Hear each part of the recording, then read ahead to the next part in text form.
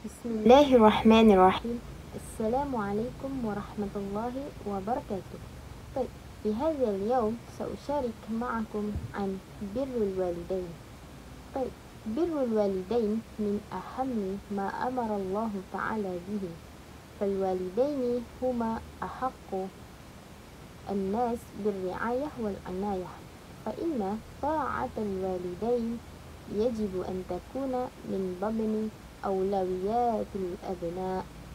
فالله تعالى ورسول الكريم عليه الصلاة والسلام أمر بطاعتهما ومعاشرتهما بالمعروف وعدم نهرها. وإنما بالمعروف والمحبة والطاعة التي تكون مبنية على الحب والوفاء. وقد أمر الله تعالى بطاعة الوالدين والإحسان إليهما في كثير من آيات القرآن الكريم. ومنها قوله تعالى أعوذ بالله من الشيطان الرجيم. وقضى ربك ألا تعبدوا إلا إياه وبالوالدين إحسانا. طيب طاعة الوالدين آه كما في المعروف باب من أبواب الجنة. لماذا؟ لأن بر الوالدين آه رضا الله تعالى من رضا الوالدين. وفي الإسلام بر الوالدين من أجل الحقوق التي فرض الله تعالى على عباده أن يرعوها حق رعايتها.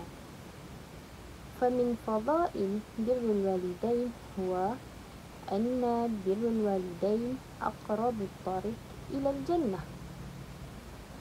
فمن يبر بوالديه فإنه يختصر الطريق إلى الجنة. طيب وأما بعد ذلك آه سور بر الوالدين. طيب ومنها آه هو الابتسامة في وجههما والتحدث بأعذب الكلام معهما والدعاء لهما في حياتها وبعد الوفاة أيضا. وطلب الغفران والعفو لهما وغيرها.